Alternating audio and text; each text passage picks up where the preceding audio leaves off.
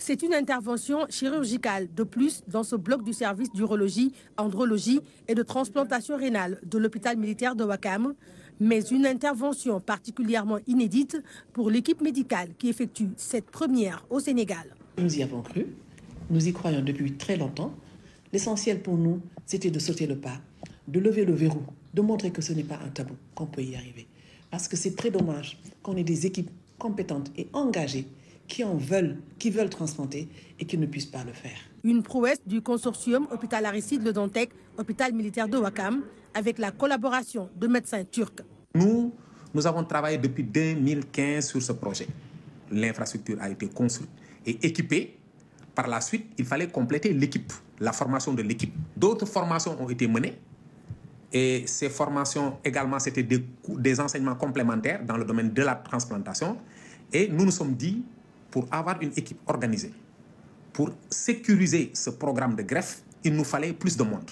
L'opération est une éventualité pour le corps médical sénégalais qui réalise au quotidien des manœuvres médicales tout aussi complexes que la transplantation rénale. Les prochains cas de greffe se feront uniquement avec des équipes sénégalaises. Vous savez, dans cet hôpital, nous opérons le plus grand nombre de cancers de la prostate dans, la sous-région. Je ne parle pas du Sénégal seulement, dans la sous-région. Le plus grand nombre de cancers de la prostate est opéré ici à l'hôpital militaire de Wakam. Et la chirurgie radicale du cancer de la prostate est plus difficile que la chirurgie de la greffe rénale. Ce qui est difficile dans la greffe rénale, c'est l'organisation. Il faut du monde. Il faut plusieurs disciplines. Ce n'est pas l'aspect technique, mais c'est l'aspect organisationnel. Ils sont trois couples de donneurs-receveurs à bénéficier de la transplantation rénale à l'hôpital militaire de Wakam. Chaque intervention a coûté près de 14 millions à l'établissement hospitalier. La transplantation coûte cher. Je pense que nous avons dépensé 13 millions 900 pour, pour, chaque, pour chaque couple. C'était gratuit pour les premiers couples. L'hôpital a tout pris en charge avec le soutien du chef d'état-major général des armées. L'État, à travers le ministère de la Santé, compte accompagner les malades pour bénéficier de ce traitement de choix. Quand M. le Président nous a reçus, il a demandé des instructions à le ministre de la Santé et de l'Action sociale pour qu'on étudie le coût et voir quel type de subvention on va lui proposer. Je crois que ça se fera dans les prochaines, prochains jours, prochaines semaines, pour que dans les prochaines plans de transplantation, qu'on puisse avoir une subvention pour le Sénégalais qui veut y accéder et qui ne peut pas le faire. Meina, nom d'emprunt, est la première personne à bénéficier de la transplantation rénale effectuée au Sénégal. Sur son lit d'hôpital, elle ne cesse de louer le Seigneur et de prier pour son donneur. Ce n'est pas une décision qui est facile à prendre. Donc il faut avoir un grand cœur pour pouvoir prendre une telle décision. Et je remercie infiniment cette personne qui m'a donné la chance d'avoir une autre vie actuellement. Nous l'appellerons Adjara, sauveur de Meina et donneur potentiel. Je n'ai pas hésité à céder mon rein à ma sœur cadette. Tout s'est bien passé grâce à Dieu. Sauver une vie, c'est une action de grâce. Avec le rein qui lui reste, Adjara pourra continuer à mener une vie normale. Le donneur va être suivi parce que euh, c'est vrai qu'il n'y a pas de risque qu'il euh, développe une maladie, mais vu qu'on lui a enlevé euh, un rein, on va le suivre. Celui qui donne, on lui laisse son meilleur rein. Ça, il faut que les Sénégalais le sachent. Et le fait de donner un rein ne vous rendra pas malade.